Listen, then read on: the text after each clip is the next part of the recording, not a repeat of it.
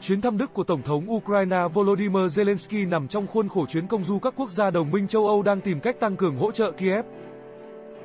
Theo hãng tin Reuters, ngày 14 tháng 5, Tổng thống Đức Frank-Walter Steinmeier đã tiếp đón người đồng cấp Ukraine Volodymyr Zelensky, khi nhà lãnh đạo Ukraine có chuyến công du đầu tiên tới Đức kể từ khi nổ ra cuộc xung đột Nga-Ukraine. Chuyến thăm Đức của Tổng thống Ukraine nằm trong khuôn khổ chuyến công du các quốc gia đồng minh châu Âu đang tìm cách tăng cường hỗ trợ Kiev. Ông Zelensky từ thủ đô Rome đến Berlin lúc nửa đêm.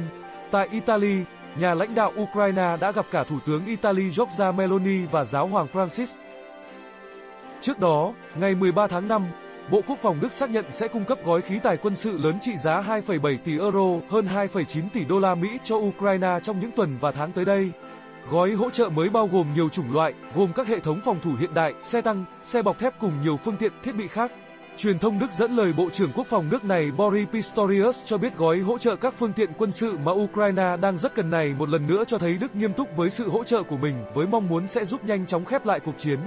Theo ông, Berlin sẽ tiếp tục cung cấp mọi sự hỗ trợ cần thiết cho Kiev. Danh sách gói hỗ trợ mới nhất này bao gồm 20 xe chiến đấu bộ binh Marder, 30 xe tăng Leopard 1A5, 18 pháo tự hành bánh lốp, 15 pháo phòng không Leopard, 200 máy bay không người lái trinh sát, 4 hệ thống phòng không Iris-T cùng đạn dược, nhiều đạn pháo bổ sung cùng hơn 200 phương tiện hậu cần và chiến đấu bọc thép.